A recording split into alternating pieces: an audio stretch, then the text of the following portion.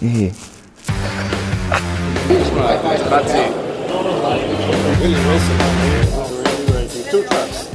Evo, briefing.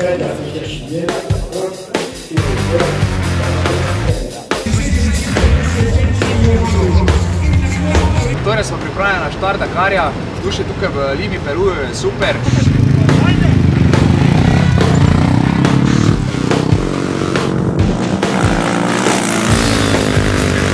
Dakar 2019 didn't end it like we all wanted or predicted.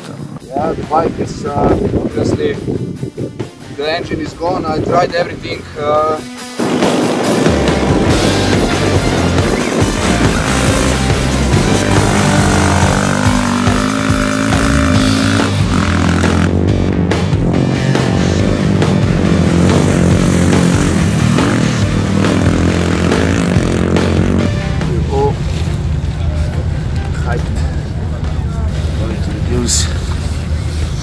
This season I started with the Enduro chassis, the AXC bike 450.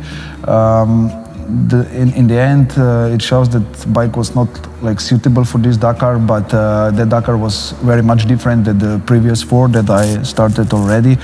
Uh, because it was a lot of fesh fesh. Uh, the southern part of uh, Peruvian uh, desert Atacama was very volcanic and uh, there was a lot of fesh fesh which we didn't expect it because we've never raced there before. The, the first stage uh, started quite well, but anyway we had some problems with the fuel pump that, that is pumping fuel from the rear tanks to the front ones.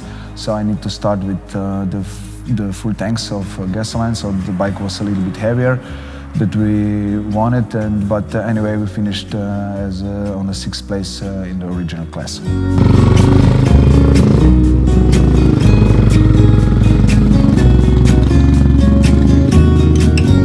Um, the third stage was, uh, I would say, the best for us, uh, even though uh, the result on the end was not like uh, I predicted, uh, because the first, first part was very technical uh, and I could attack a lot because the bike was also a little bit lighter than the original rally bikes.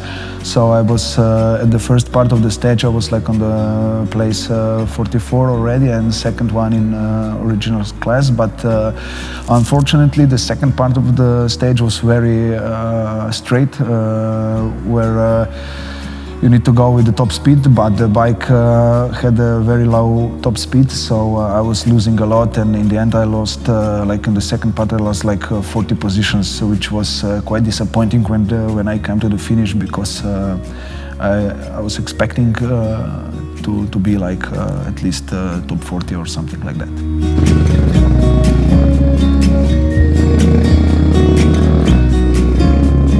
Stage four, I had a big crash already from the start, like uh, on a kilometer two. Uh, I crashed in a fesh fesh and uh, I damaged uh, the tower and uh, lose all of the navigation, the electronic and the analog one. So I didn't have a road book, I didn't have like uh, um, speeder caps and everything. So I could only roll the road book on, on my hand and that's why I need to go very slow. Yeah, the bike is obviously the engine is gone. I tried everything, uh, but uh, it's not probably the dust came into the engine. Uh, so disappointed. Of course, we were disappointed, but uh, anyway, this is the Dakar, the hardest race on the planet, and that happens. Uh, now I realize that uh, I really need a rally bike, the, the replica of a factory bike. So my plan is to get a new bike, uh, to get more, more sponsors and uh, attack next year uh, as, as I want it. Uh, this season I, uh, I'm going all in. Stay tuned for new vlogs and we will try to show you as much as possible from behind the scene of our races and preparations in 2019.